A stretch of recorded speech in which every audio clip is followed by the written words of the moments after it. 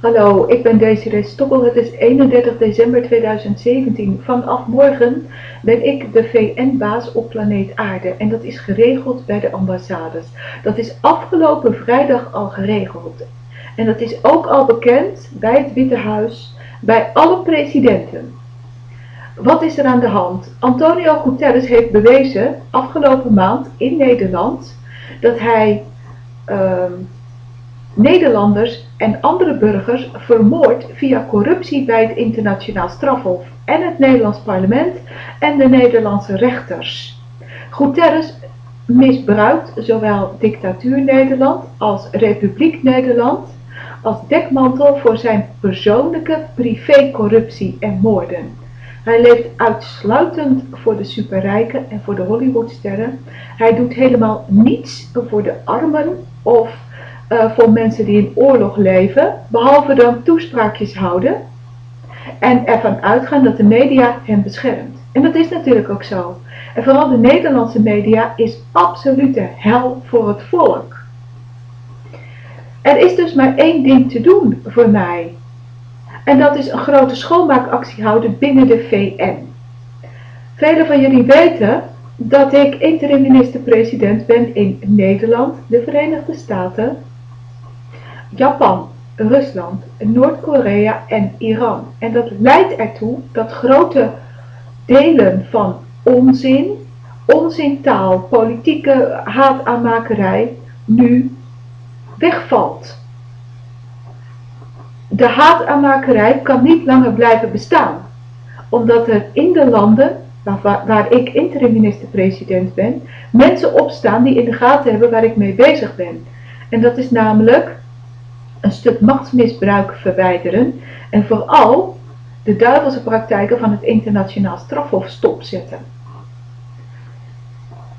Ik claim nu het arbeidscontract van de VN-baas, omdat ik weet dat als ik dat niet doe, criminelen, terroristen opnieuw starten.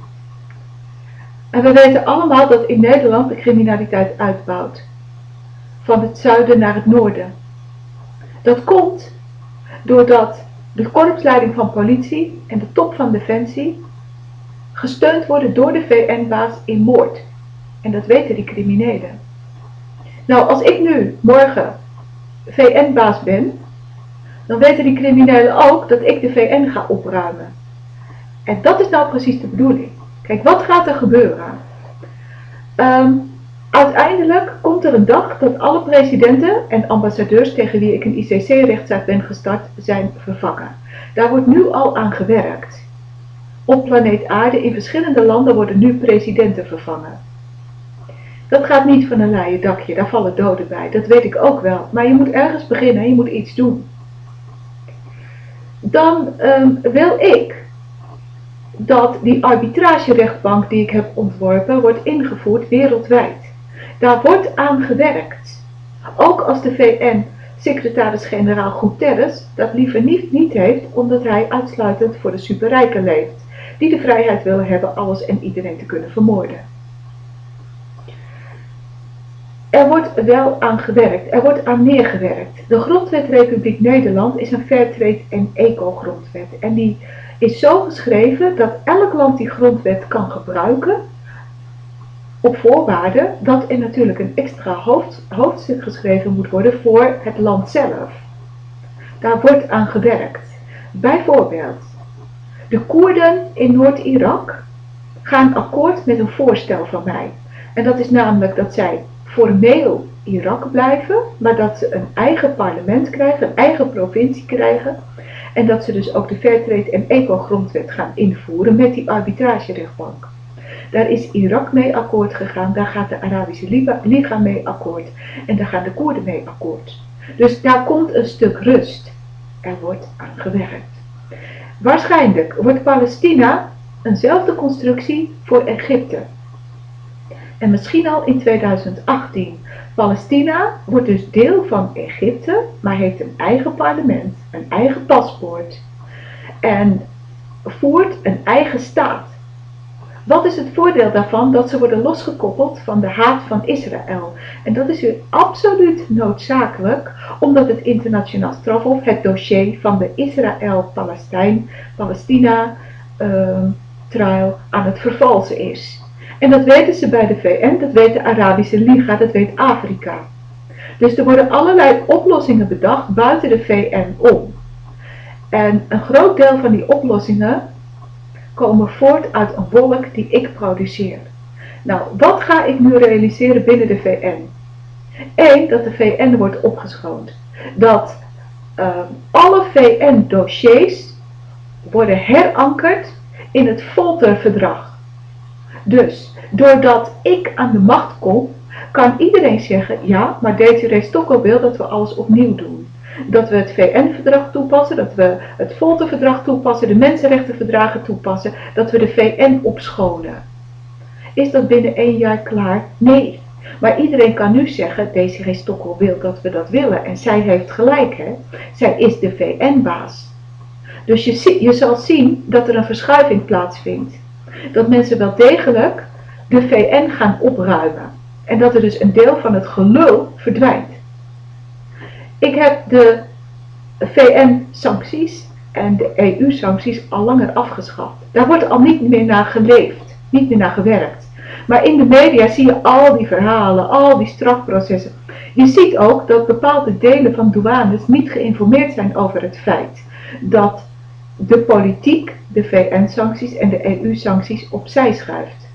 Nou, aan die situatie, dat er namelijk een elite is, een geheime lobby is, die met een totaal andere werkelijkheid opereert dan uh, de, de ambassades doen en presidenten doen, of dat het, het volk doet, moet zeggen het volk doet, uh, moet stoppen. Het volk moet weten hoe de geheime lobby opereert en het volk moet zich daaraan aanpassen. Um, dan is er nog iets. De jonge generatie kan zich niet meer verdedigen tegen de machtsmisbruik van de, van de superrijken, maar kan zich er ook niet aan aanpassen. En zeker niet als je de situatie hebt dat de jonge generatie het recht niet kan vertrouwen en geconfronteerd wordt met criminele rechters. Het volk in Nederland zal de komende tijd merken dat rechters weigeren te straffen. Er wordt een oude hoercultuur gebouwd. Het, de slachtoffers creperen, maar het volk kan zich niet verdedigen. De jonge generatie weet dat, maar is niet intelligent genoeg om zich daartegen te verdedigen. Ik ben heel erg geëmotioneerd, ik ben heel erg kwaad en ik ga gewoon even verder. Kijk, waardoor ben ik nou zo geëmotioneerd? Nou, de Galaxy kijkt mee en in de Galaxy woont Aaron Zwart. En Aaron Zwart heeft zichzelf in 2013 opgehangen. Aaron Zwart was een jonge Amerikaan met high-tech intelligentie en ook een enorme hoeveelheid sociale intelligentie. En hij kon de wereld overzien als toekomstbrenger. Hij heeft gesteld, er bestaat geen rechtvaardigheid in onrechtmatige wetten. Dus al de lulwetten die geschreven worden, al de onzinwetten, kunnen geen rechtvaardigheid brengen. En hij overzag dat hij tijdens zijn mensenleven die rechtvaardigheid niet kon herstellen. Mijn hart breekt, want wat is er nou gebeurd? Die jonge man heeft in 2013 zichzelf verhangen.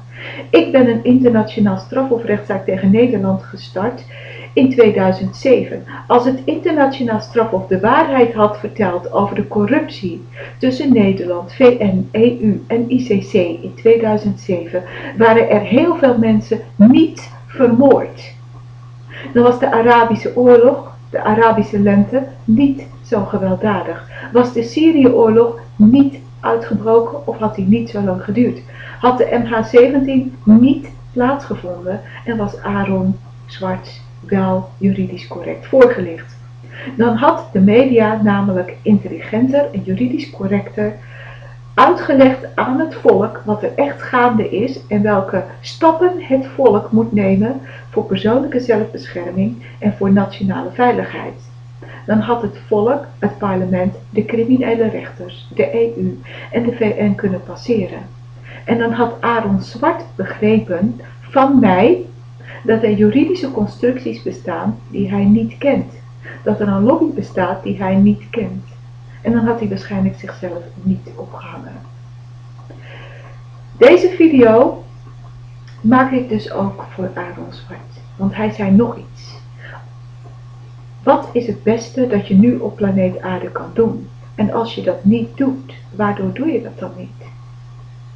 Nou, als je dat even vertaalt naar de werkwijze van de VN-baas, de oppermachtige oorlogsbaas en mensenrechtenbaas, dan kan je maar één ding concluderen. En dat is dat de VN-baas weigert het VN-verdrag, Volterverdrag en de mensenrechtenverdragen toe te passen, omdat hij wil dat er gewelddadige regimes zijn. En dat hij ook gewelddadige regimes, wisselingen, wil. Hij wil dus helemaal geen vrede. En hij wil geen klimaat en hij wil geen fairtrade. En dat brengt mij naar Aaron Zwart. Die dan vraagt, ja waarvoor wil je dat niet? Waarvoor doe je dat niet? Nou, ik ken dat systeem. En ik ga nu die VN-baas dwingen dat wel te doen. Ik trap hem eruit. Hij zal zo lang mogelijk in zijn arbeidscontract blijven, maar de Galaxy zal weten dat ik hem er, hem heb uitgetrapt. Ik stop. Oké, ga naar de, de website. Daar staat de brief op die ik aan de ambassades heb geschreven. En waarmee ik dus het arbeidscontract van VN-baas Antonio Guterres overneem vanaf morgen. Oh. Mijn hart haalt. Mijn hoofd haalt. Ik vind het leven absoluut afgrijzelijk op planeet aarde. Ik heb weer maar twee kinderen op aarde gezet. Waarvan de een dezelfde high-tech intelligentie heeft als Aaron Zwart heeft. De ander in verbouwing is. Ja, ik kan moeilijk weggaan. Bovendien moet ik me afmaken waar Aaron mee begonnen is. Dag.